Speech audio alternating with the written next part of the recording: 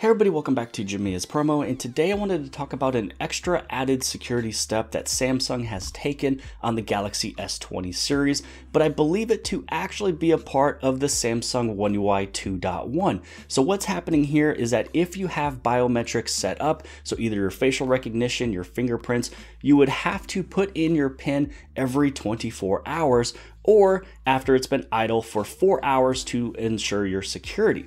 So let's unlock this and let me show you what this means a little bit more in depth. So now that we've put in the pin, I'd be able to use my fingerprint, I'd be able to use my facial recognition to get into my phone. Unless if my phone is sitting for four hours or more and it's idle, then I'd have to put in that pin again, which means when you go to bed at night, the next morning when you wake up, you would always have to put in this pin. So for some, this could be an inconvenience, but really it is for our security. So make sure that your pin and password is well protected, but something easy and fast to put in.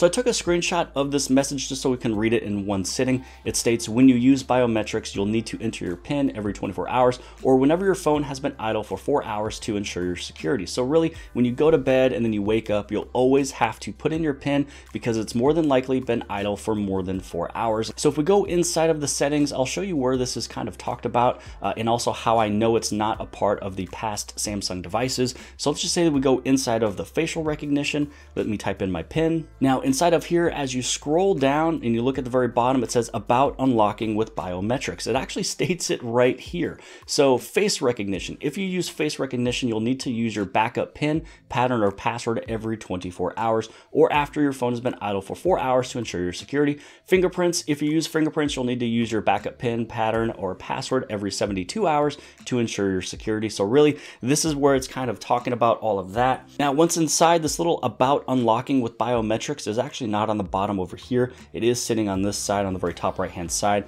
and it doesn't say anything about idle or time frame uh, or anything else. So I believe that I don't think it's only stuck with the S20 series. I believe it's going to be a part of the Samsung One UI 2.1. Uh, this one's running 2.0. This one's 2.1, giving that extra added form of protection. So what do you guys think about this extra added security step? So every single morning when you wake up, you always have to put in your PIN, password, or pattern. If you have any type of biometrics set up, you know, write a comment below the video. Let me know what you think. Do you like it? Do you dislike it? Do you find it to be an inconvenience or do you not really care and you'd rather have that security? I mean, think about it like this. If something has ever happened to you uh, and four hours has passed or more, uh, nobody would be able to get in your phone even with a picture of you, an image of you, showing it over your face, taking your thumb, nothing like that.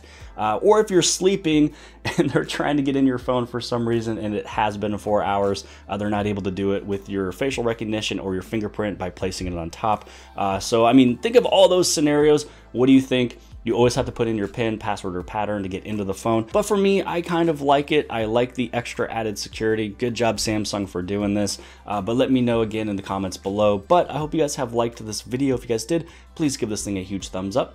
Don't forget to hit subscribe. Subscribe right over here in the very bottom left-hand side. And if you like this video, then more than likely you'll also like this video. And I'll see you guys later.